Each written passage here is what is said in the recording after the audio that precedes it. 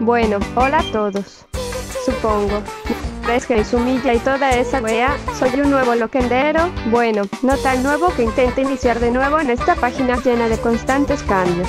Mis avatares, nada, ustedes ya saben quiénes son, pero solo agregaré unos dos más, de los cuales también está este weón emoya vista de un anime de demonios.